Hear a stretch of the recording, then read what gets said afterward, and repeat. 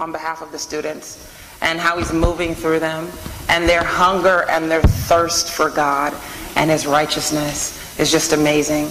And I haven't been here that long, but to already see it displayed in the students is such a blessing. And to see them own the ministry is also such a blessing. So we had a couple of presentations um, today for the youth, and we have Robert here today. Um, so maybe next month we'll have a few more youth. So what Robert is uh, here to share with you is a, a scripture that he's going to, that I asked him to pick a scripture that really speaks to him, and um, he did, and he's going to speak on it for about a few minutes and also share with you a poem. And I'm excited to see what the Lord is doing. Amen. Amen. So I present to you Robert.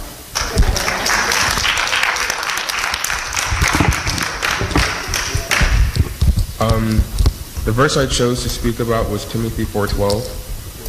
Uh, it states, "Don't let anyone look down on you because you are young, but set an example for the believers in speech and conduct in love, and faith and purity."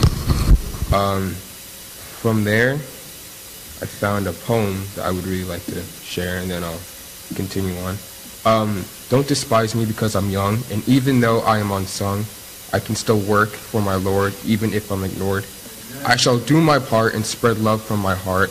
I can set an example for believers in every way, from what I have, from what I live to what I do and say. I can show how to be pure. I can show how to endure. I can show how to believe even when we grieve. So don't look down on me because I'm young and free and do not know what I can become, for it is from God I have come. Um,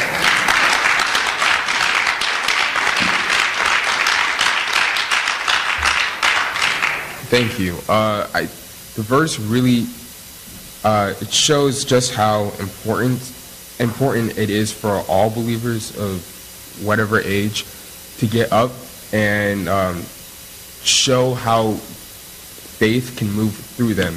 Oftentimes, we as Christians we will just say something, but we won't actually show it through action.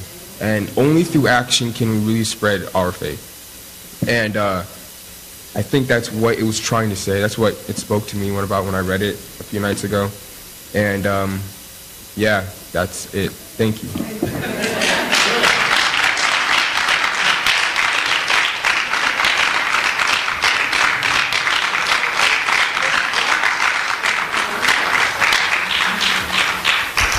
Praise God. Thank you. Thank you, Robert. Can we give him another round of applause? That's, you know, if I was his age and somebody told me to go up in front of a church and speak at, on a verse and then do a poem, I'd be like, no. Okay, so thank you so much, Robert. We actually had another presentation, but she was un- she's unable to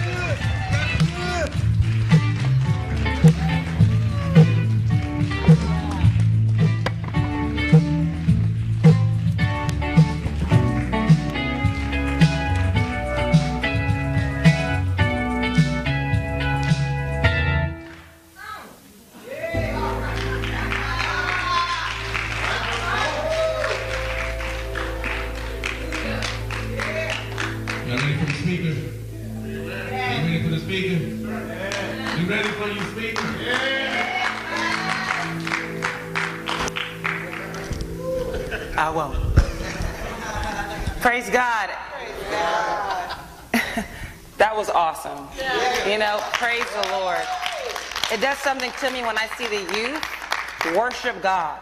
You know, because I go to churches and I've seen adults afraid to lift their hands and worship God. So it's something when you see the youth do it. Amen. Amen. Praise God. Um, can we stand for the reading of the word? We're going to be coming from 2 Kings 13, verse 20 and 21.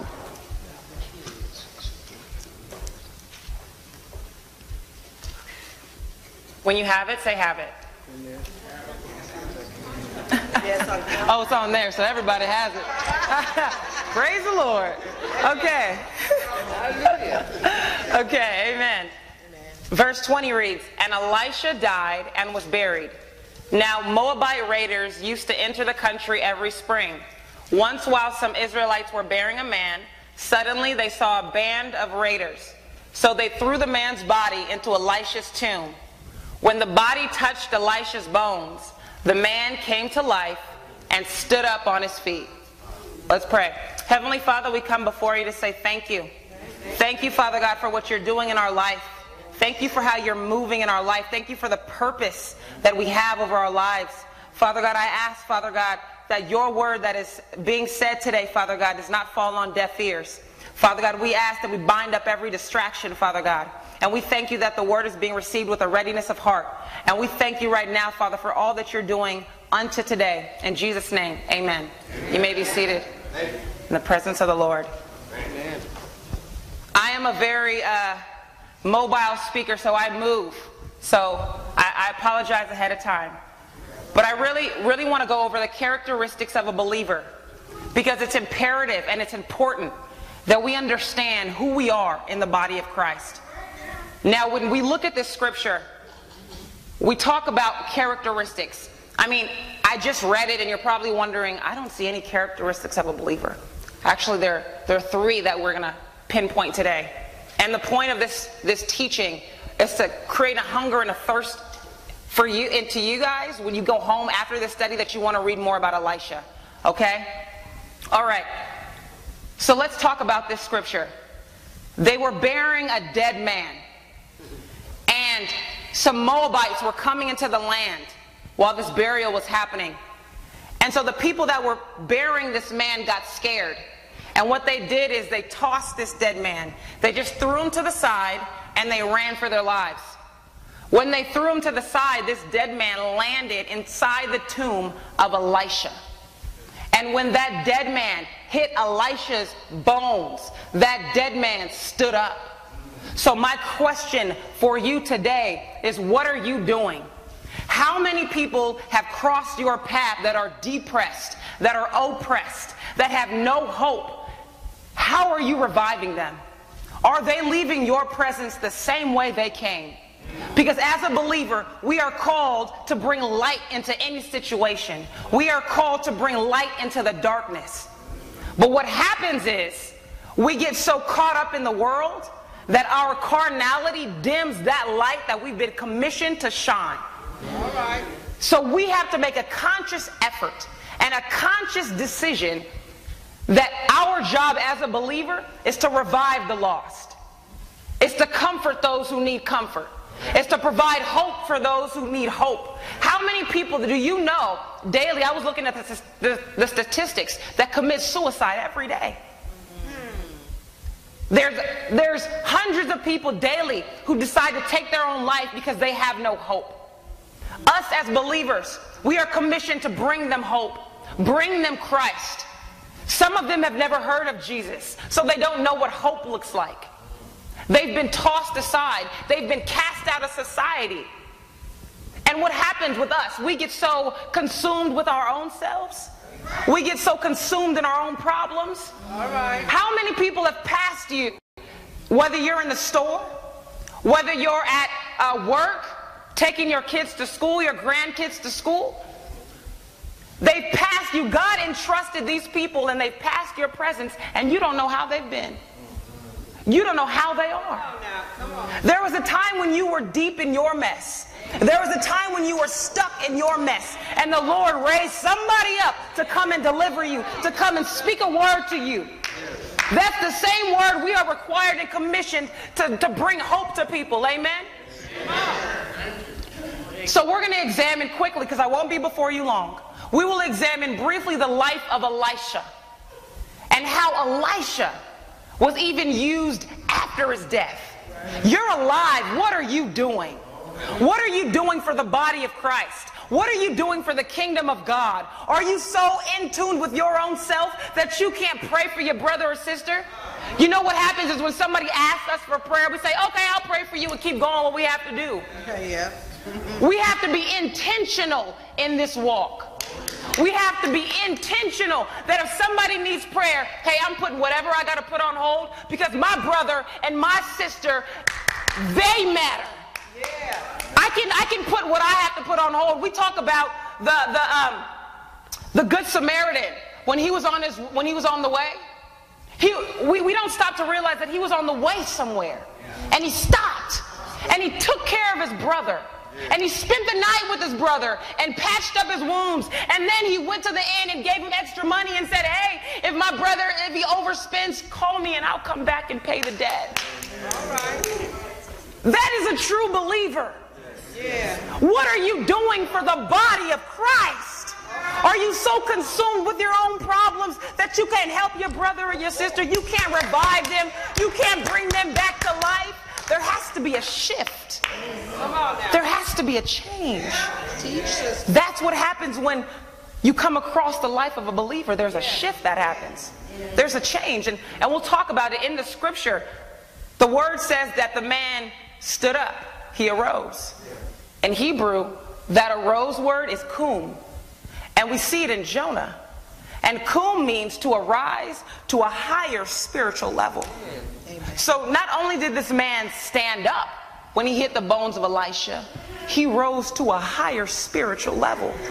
That means that his mentality wasn't the same when he stood up. That means that he was not the same he was not the same person as he was before. So then now let's talk about you. When people come into your presence and their hope is gone, there should be a shift. People should leave your presence in a higher state. Their mental state should be higher. They should be changed. That's what the gospel does. That's what God does to God does to us. He cleans us up. He gives us hope. Amen. All right, let's study Elisha briefly because I won't be before you long. So we're going to study Elisha. And and for you who may not be familiar with Elisha, there's Elijah and there's Elisha. And I don't want to confuse you. So we're really we're strictly going to stick to Elisha, but I want to give you a brief synopsis of Elijah.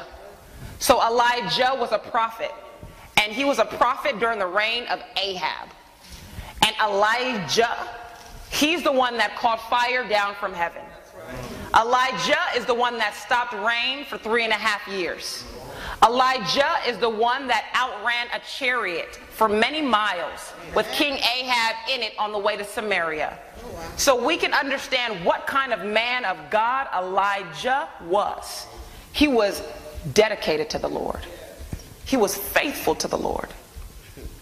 Okay? So Elijah was running from Jezebel because Jezebel had made life threatening threats to Elijah. So Elijah ran to Jezebel, uh, ran from Jezebel, and he ended up in the wilderness. And so when he's in this wilderness, he basically prays to God and he says, I'm doing everything you want me to do, Lord. I, I went and stood before Jezebel and told her that she was wrong.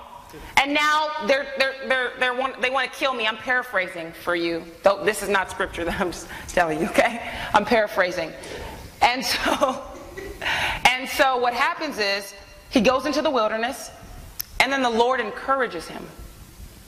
How many of us are sensitive enough to the Spirit or we can pay attention to the, when the Lord encourages us? We often shrug that encouragement off as, ah, it's nothing. Let's be sensitive to the Spirit like Elijah was. He was sensitive. So the Lord encouraged him. How did the Lord encourage him? The Lord sent an angel to bake him a cake. There was a cake when he arose, and then there was water. Talk about the Lord. And so when he encouraged Elijah, that gave him strength. And so the Lord told him, I want you to go to the mount. Because before you're done with the excitement, I need you to anoint three people. So the three people that the Lord had Elijah anoint was Hazael, which was a king, was, was Nimshi, and was Elisha. So the, the scripture says that after he left the mount, that he went and found Elisha. So now we're going to get into the points in the life of Elisha. There's three points that I want to cover today. The first point is that when Elisha, when Elijah found Elisha, he was working. Elisha was working. He was plowing 12 oxen. Sometimes we want to be called to a higher sense of ministry when we can't even take care of what God has given us today. Okay? Elisha was found working, plowing the oxen. Elisha was the son of a wealthy man. So Elisha really didn't have to plow the oxen, but he was working as he was working unto the Lord. Amen. We sometimes get so stuck in our secular jobs. Oh Lord, when are you gonna when are you gonna promote me? Oh Lord, when am I gonna get moved up higher? And he's like, You're not even doing what I what, what I given you. You're not even being faithful in the little that I gave you. You want me to entrust you to more? Elisha was found being productive. What is your productivity like? How are you working? The Bible says in Proverbs 28 19 that he that tills the land will reap plenty of bread. Basically saying if you work, there's a reward for your working. In the Bible, the word says that the God told Adam to work. In Hebrew, that work needs to become. What are you becoming? Okay? Productivity. Let's talk about that. The Bible says that the mantle that Elijah had, when he found Elisha working, he threw it on Elisha. A mantle. In that custom, a mantle was made of animal hair. And a mantle was only worn by the priests and the kings. And what a mantle was, was it was symbolic to the owner's calling, it was symbolic to the owner's authority, and it was symbolic to the owner's position. So what Elijah was doing was he was casting his authority on Elisha. He was casting his position on Elisha. He was casting his calling on Elisha. Now let's talk about humility. Because when Elisha received that, he didn't say, okay, now the Lord anointed me. Now you go do what I got to do. Now I'm, now I'm, now I'm the speaker. Now I'm going to speak to 5,000 people now. Now you're going to pay me $5,000 to speak because the Lord called me to speak. How many of us do that? How many do we see televangelists charging thousands of dollars to speak the word of God? Uh-huh. Let's talk about humility. Who are you submitted to? Who are you under? Elisha was submitted to Elijah. Even though the calling, his authority, his position was placed on Elisha, he was still submitted to this man of God because he wanted to glean. He wanted to learn everything that he could learn about the Lord. How much are you hungering and thirsting for the word of God? Yes. That you can sit under somebody yes. and learn. Who are you submitted to? Who is accounted for you? There is hierarchy in the body of Christ. First, 1 Corinthians 14 40 says, that there's order. There's order in the body of Christ. Mm-hmm. But we've gotten so commissioned where we're out of order, where the, the kingdom of darkness has more order than the body of Christ. There's hierarchy. Come on. So his mantle was placed on him. So when he got the when he got the calling, when the mantle was placed on him, the Bible says that Elisha ran after Elijah. He recognized that that anointing, he recognized the calling, he recognized the position, and he ran after Elijah. And when he caught up to Elijah, what does the scripture say? The scripture says that Elisha told Elijah this. He said, Can I go back and kiss my mother and kiss my father? Because he recognized what he had to do. Let's talk about this the counting the cost of discipleship. Luke 14 talks about Jesus. Jesus says, How many of you guys would build a tower without counting the cost? Where you lay the foundation and then you realize you ran out of money and you don't have enough to finish it?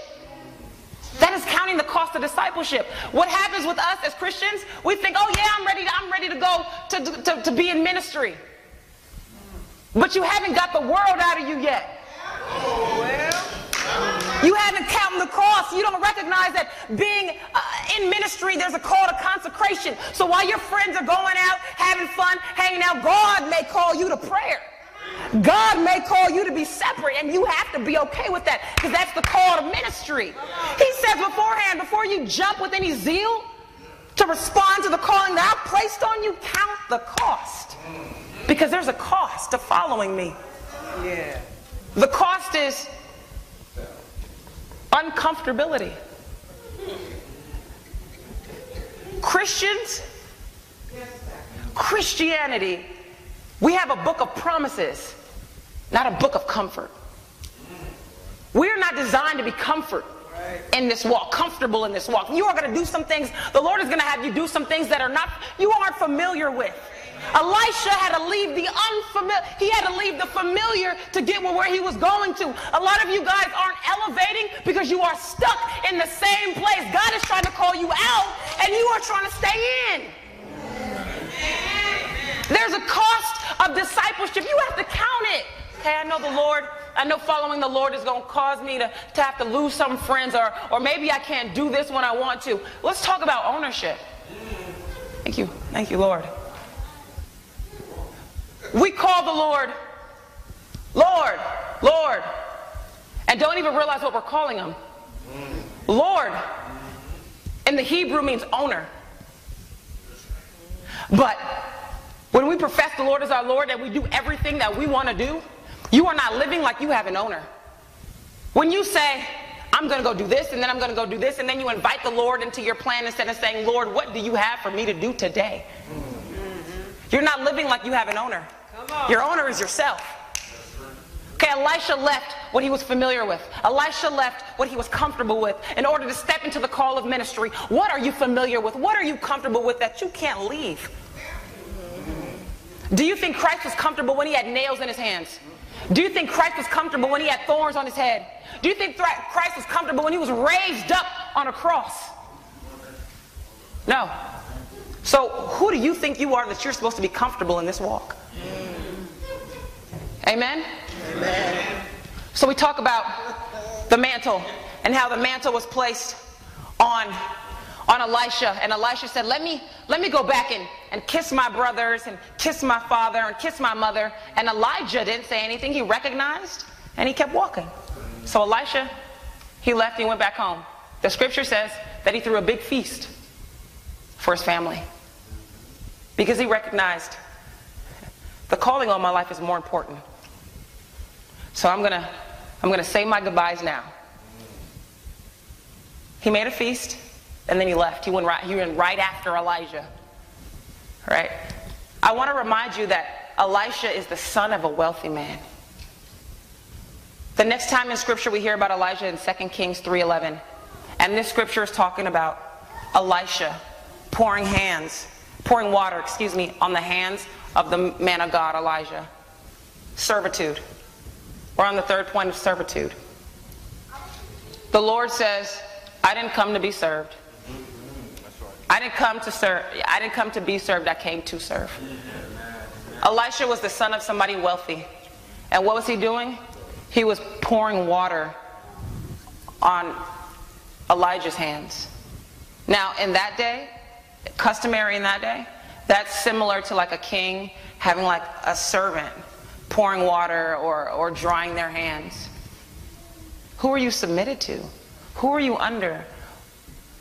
What is your, what is, we have to have a, an awareness to authority. As a characteristic of a believer, you guys, we have to be productive. We have to count the cost. You have to be wise. You have to realize that in this walk, you can't do anything or everything that you may want to do. You may want to go out and hang out with your friends or, or go see your family, but the Lord may be calling you for a time of consecration where you have to, to, to, to shut in for a couple of hours. The Lord may be calling you for a time of study. The Lord may be calling you for a time of prayer, for a time of missions, for a time of outreach, and you have to be prepared for that.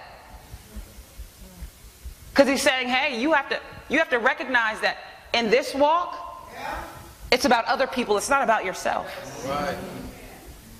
So you are building yourself up for somebody else. And, and I'll, I'll, briefly share this with you. Four years ago, I watched my father die. And, I watched, at 23 years old, I watched my father pass away in front of me. And um, mm, it was something I couldn't even wish on my enemy. It was the hardest thing that I've had to deal with. And I still have my moments four years later, but let me tell you, out of that, because I, I was a mess. And I can be honest with you guys. Four years ago, after my father passed away, I was a mess. I was a mess.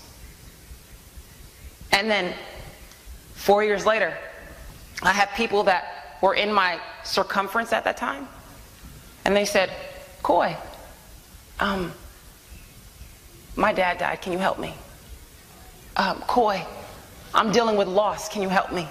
At that time, I didn't understand why the Lord would do that. Why would you take away my father? Why would you take somebody, the only, the first man that I loved? Why would you take him away? But then I recognize that this walk isn't for me.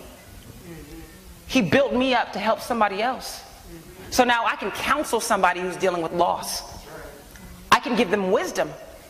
I can say, hey, look, I understand where, where you've been. And let, let me tell you how the Lord delivered me, how the Lord cleaned me up. If He did it for me, He can do it for you. Yes. And that's what we are to be. We are to revive the lost. We are to revive the depleted. We are to revive and give, give hope to people who feel like there is no hope. We cannot allow our gift to take us somewhere that our character cannot sustain us. So we have to get our character in order. The characteristic of a believer, you have to be productive. If the Lord hasn't promoted you yet, check your heart. Check yourself.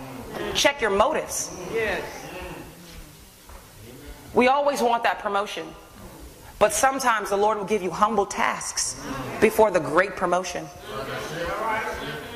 Before Elisha was parting the water, before Elisha was, was allowing steel or metal to float, he was pouring hands on a man of God.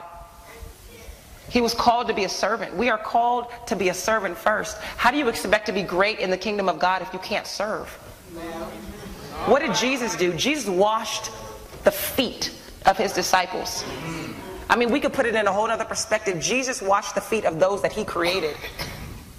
I mean, what? And you mean to tell me that you can't hug somebody who's homeless? You mean to tell me you can't shake a hand to somebody who may not have their hands clean? Yeah. You mean to tell me that you have standards about, oh, oh, oh, oh, they, they don't smell the greatest. I can't hug them or I can't, I can't put them in my car because, you know, I just got my car cleaned and, and I don't want that on my seats. I mean, we laugh, but that's how the body of Christ is. Yes. I was at school the other on Saturday, yesterday, and I had one of my professors tell me a story. And it was one of the most disheartening stories. Because he said he was doing this a revival, and two ladies that lived in LA wanted to be a part of the revival. And so he called one of his pastors that lived in LA and he said, Hey, can you uh can you pick up these ladies down? They live right by you and bring them up to the revival. Uh, they really want to go. They just don't have a car.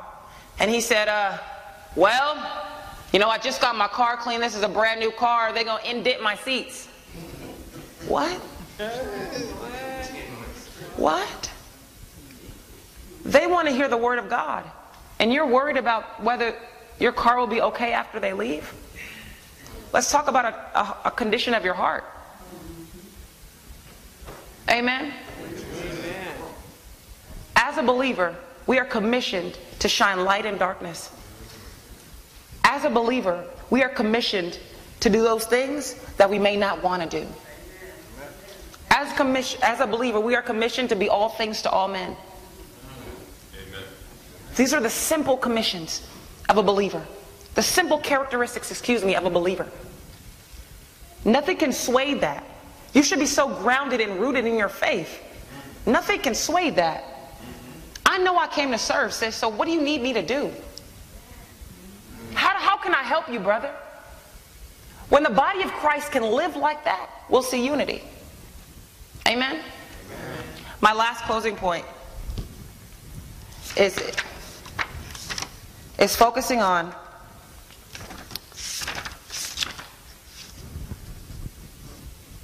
who we are. Who we are in the body of Christ. We're servants. First. First. Amen? I really want you to study the life of Elisha because it's amazing. Because the Bible says that when the dead man hit the bones of Elisha, that he arose. But the Bible doesn't say, the Bible doesn't make a distinction that this dead man was a believer or not. All the Bible says that when this dead man came into contact with Elisha, that he arose to a higher level. It doesn't matter who comes in your contact. It doesn't matter who walks across your path. They should not leave the same way that they came.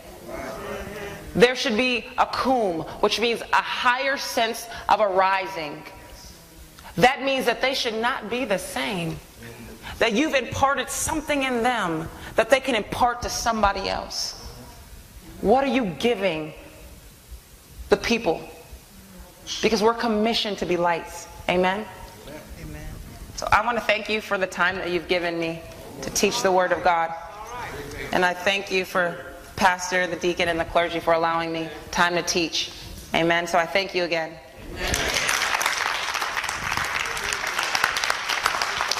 Thank you. Thank you so much, Pastor. Thank you. Thank you.